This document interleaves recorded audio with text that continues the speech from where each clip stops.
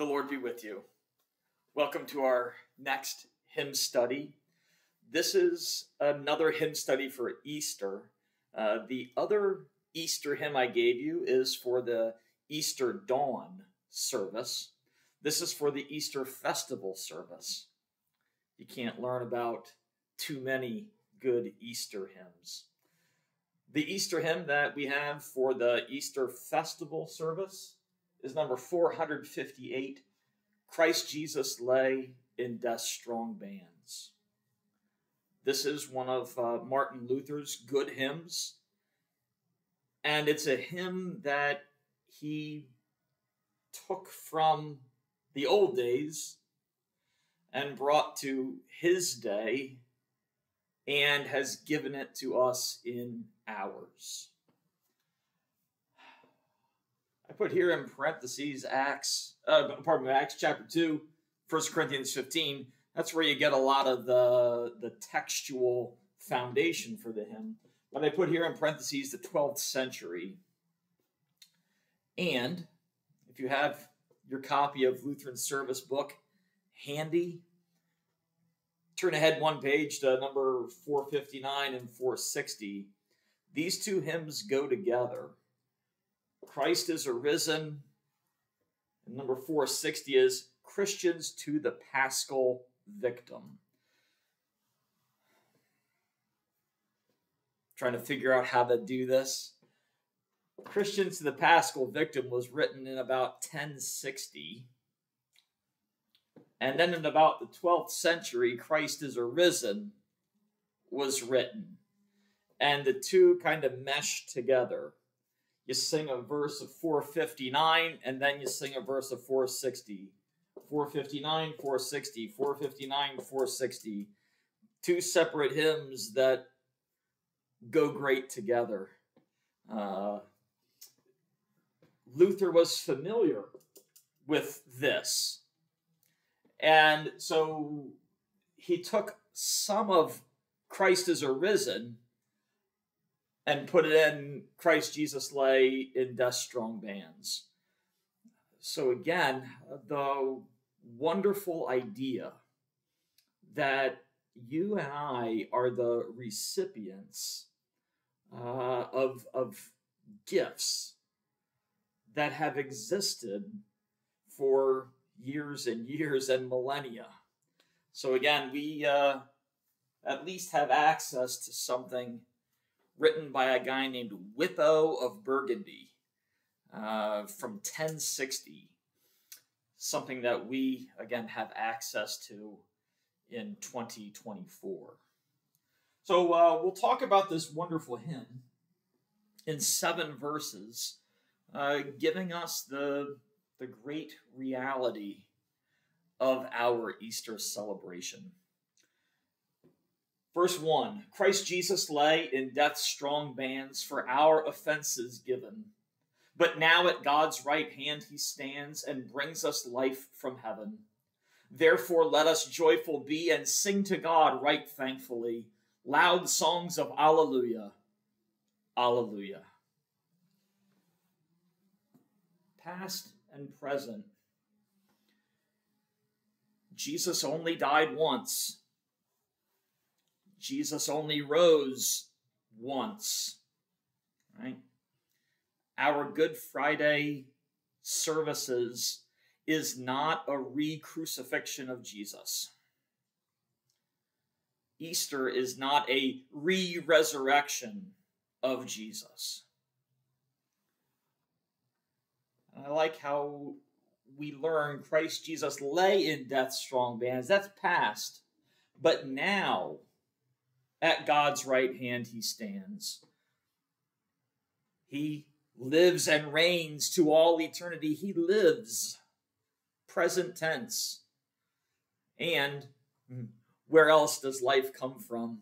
He brings us life from heaven. And so we say thanks we say, Praise the Lord. We say, Alleluia. Verse 2 No Son of Man could conquer death. Such ruin sin had wrought us. No innocence was found on earth, and therefore death had brought us into bondage from of old, and ever grew more strong and bold, and held us as its captive. Alleluia. Not humanly possible. No regular old Son of Man could bring us anything, could pay the price. And among you and me and among all of our neighbors, there's no one who was innocent who could pay the sacrifice required. Sin was strong, sin was bold, and we were in its clutches, we were in its hold. So, again, this hymn helps us celebrate the reality of our sin, the reality of the redemption of Jesus. Verse 3 Christ Jesus, God's own Son, came down, his people to deliver. Destroying sin, he took the crown from death's pale brow forever. Stripped of power, no more it reigns. An empty form alone remains. Its sting is lost forever. Alleluia. Luther leads us through salvation's story. A good way to look at verse 3 is with these images. Christmas, Christ Jesus, God's own Son, came down. Right? The Chi-Rho, shorthand, points us ahead to this little bit of shorthand. What do you see there? If you get my hand out of the way, the cross, tomb, an arrow coming out of the tomb, Good Friday, Easter, without having to write Good Friday and Easter. Christ Jesus came down. Christmas always looks ahead to Easter. Easter sort of has one eye looking back to Christmas when you and I receive the gift. Verse 4 It was a strange and dreadful strife when life and death contended. The victory remained with life, the reign of death was ended. Holy Scripture plainly saith that death is swallowed up by death, its sting is lost forever. Alleluia death is swallowed up by death.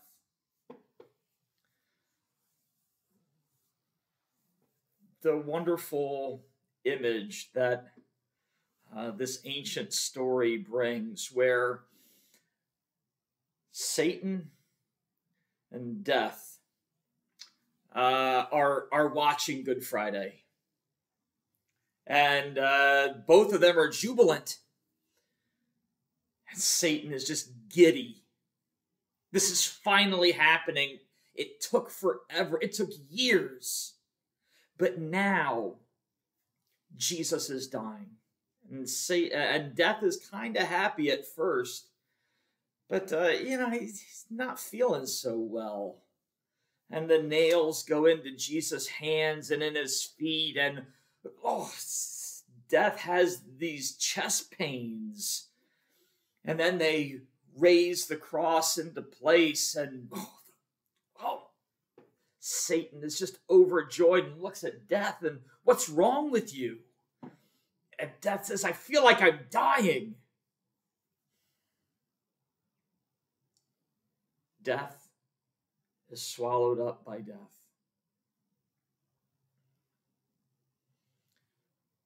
That's the last victim that Jesus will conquer will be death. It's lost its sting forever. I've said this before in other videos and in Bible classes and in sermons. Death is painful, it's real. But for you and I who have received the gift of baptism, our death is sleep. Again, we fall asleep in Jesus. And on the last day, he will raise us from our bed to life forever with him. So he who is born twice, through regular birth and rebirth of holy baptism, born twice, you die once. Born once, you die twice. So, death is swallowed up by the death of Jesus. It's lost its sting forever. Verse 5 Here, our true paschal lamb we see, whom God so freely gave us. He died on the accursed tree, so strong his love to save us. See, his blood now marks our door. Faith points to it, death passes o'er, and Satan cannot harm us. Alleluia. Paschal? Christians in America are really the only group of people who celebrate Easter. Really? Yeah. In other parts of the world, they celebrate the Paschal feast, or they just simply celebrate Pascha. What's it mean? It relates to the word Passover. Passover and Easter are always close together. Sometimes Hanukkah and Christmas are close together, sometimes they're far apart on the calendar. The two have nothing to do to, with each other. Pardon me. Passover and Easter have a lot more to do together. Passover is a lunar schedule calendar, uh, a lunar date, and Easter is always the first Sunday after the first full moon, after spring starts. So you're always going to find them together. The Passover. Going back to these hymns, number 460 Christians to the Paschal Victim. Here, our true Paschal Lamb we see Jesus Christ. Behold the Lamb of God who takes away the sin of the world. See, his blood now marks our door. Faith points to it. Death passes o'er. Faith points to what? To the blood on the door. It doesn't point to you. It doesn't point to all the good works you've amassed in your life. It doesn't point to your deficiencies and mocks you and says you should have done more, you could have done more, why didn't you do more? Faith points to the blood of the paschal lamb, right? Faith clings to Jesus. We celebrate Pascha. We call it Easter, that's okay. But we celebrate Jesus, the Lamb of God who died for our sins and rose for our justification. Verse 6 So let us keep the festival to which the Lord invites us. Christ is himself the joy of all, the sun that warms and lights us. Now his grace to us imparts eternal sunshine to our hearts. The night of sin is ended. Alleluia. Hmm. The festival of eternal sunshine. Easter, Easter, Easter. We gather for worship on Easter, on the Lord's Day every Sunday is a reminder today's the day that Jesus rose, right? Maybe you have friends who are Seventh day Adventists. They worship on the Sabbath still, right? The Sabbath is Saturday. Jews begin their day of rest Friday night at sundown And then Saturday is the Sabbath for them. Christians, to distinguish themselves, said, Hey, we are distinct. Our Lord Jesus rose from the grave on Sunday, on the first day. This is the Lord's day. The feast of eternal sunshine. He brings eternal sunshine to our hearts. Even during the season of Lent, when things may be a little more somber.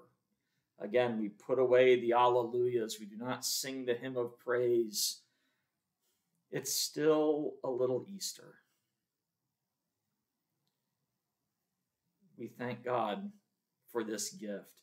And the, the verse ended with this the night of sin is ended. Going back to verse 5, Satan cannot harm us. Going back to verse 4, death is swallowed up by death.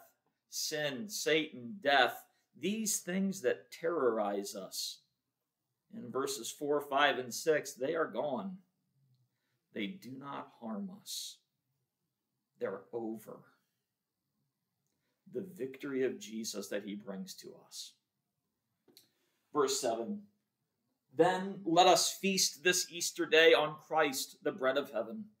The word of grace has purged away the old and evil leaven. Christ alone our souls will feed. He is our meat and drink indeed. Faith lives upon no other. Alleluia. It is a festival. If you go to a festival, you expect there to be some sort of feasting. We have the feast of all feasts in the communion meal. Faith is strengthened by the meal Christ gives. Right? In holy baptism, you are made a Christian. In the Lord's Supper, you are kept a Christian. Faith is given in the waters of baptism. That faith is nourished in the body and blood of our Savior Jesus. Faith lives upon no other. Maybe if you wonder about your faith and you think to yourself, I have not been to the sacrament in a while, come, feast. Why withhold yourself from what you need. We keep the festival not only on this Easter day, but regularly, routinely. The Lord gives his meal for you. Right? As I talked about in a verse about the paschal lamb, faith points to the blood, it doesn't point to you. Satan points to you. Satan puts your list of sins right in front of your face. Satan accuses you. How dare you say that? How dare you do that? How dare you miss that opportunity? What kind of Christian are you? Well, I'm a Christian who trusts in Jesus. I know what I've said. I know what I've done. I know that my Savior is named Jesus Christ. I know that my Savior is the Lamb of God who takes away the sin of the world, who takes away my sin. So let us feast this Easter day. Jesus is the bread from heaven. If you're thinking about manna in the Old Testament, that's fine. God gave his people manna in the wilderness. Your loving Father gives you bread and wine to eat and to drink, so that you may be assured that you are forgiven, so that you may be assured that you have life, life from heaven so that you may be assured that God is for you. This is the hymn of the day for Easter, for the festival of Easter. Uh, we will sing it with joy and happiness and give our thanks to God. Thanks for watching. Bye bye.